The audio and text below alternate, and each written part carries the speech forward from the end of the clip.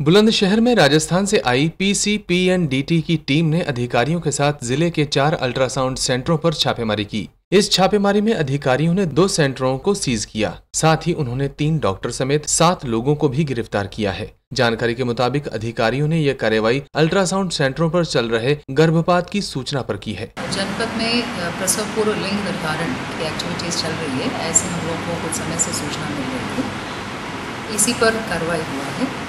और डेकॉय operation sting operation के माध्यम से दो नर्सिंग होम्स पे कार्रवाई हुआ है, एक सोलंकी और एक शोबारा तो पहले नर्सिंग होम सोलंकी से एक फ़िलहाल अधिकारियों ने अल्ट्रासाउंड सेंटरों से मशीनों सीसीटीवी कैमरा और कंप्यूटर को जब्त कर आगे की कार्यवाही शुरू कर दी है। बुलंदशहर से इकबाल सैफी, पंजाब केसरी टीवी